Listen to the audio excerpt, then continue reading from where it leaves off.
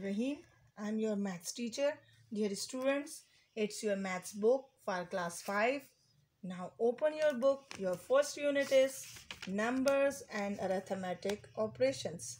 Now open your book page 8, exercise 1.1, question number 3. In the following numbers, name the place value of the digit. Now define a place value. The value determined by the position of a digit in a number is called place value. For example, if we have a number 5 stands for ones, 7 stands for tens, 2 stands for hundred, 6 stands for thousands, 4 stands for 10,000, 9 stands for 100,000, 8 stands for millions, 7 stands for 10 millions, 3 stands for 100 millions, and 9 stands for billions. Now, dear students, we will put this number according to the place value.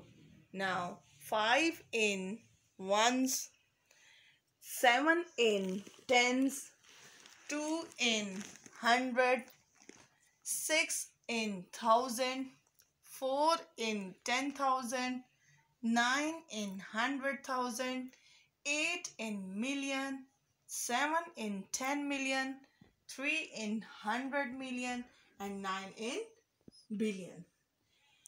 Here we have four families. Hundred family, thousand family, million family and billion family. If we have 10 digits, first family is called hundred family, second family is thousand, third family is million and fourth will be billion. Now how we will read the question? We will read the question like that. 9 billion 378 million 946,200 75. Thank you students. Allah bless you all.